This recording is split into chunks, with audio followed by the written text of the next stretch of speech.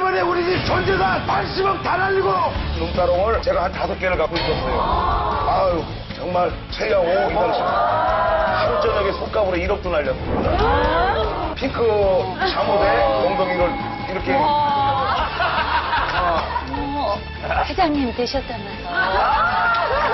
자기야, 이- 자기야, 자기가 가서 사인만 하면 이 건물이 자기 게 된다는 거예요. 깡패들이 수십 명이 있는 거예요. 내 재산은 벌써 다 넘어간 상태.